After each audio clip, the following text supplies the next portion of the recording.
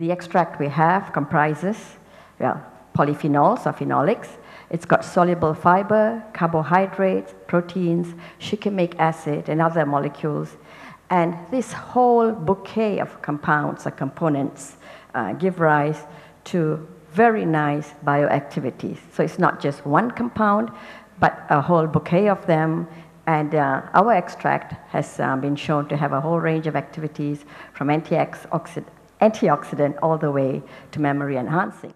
And in terms of antioxidant activity, this was also done at MIT, and um, it appears to have superior antioxidant capacity to many other water-soluble uh, components that are out in the market, water-soluble products that are out in the market. Uh, many of the activities I mentioned earlier, it's also got antimicrobial effect. Most effective seems to be against Helicobacter pylori, which I think all of us know is associated with gastritis.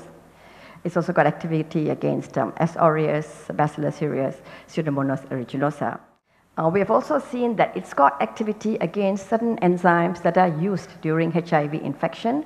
One of them is the reverse transcriptase assay, since the HIV virus is a retrovirus.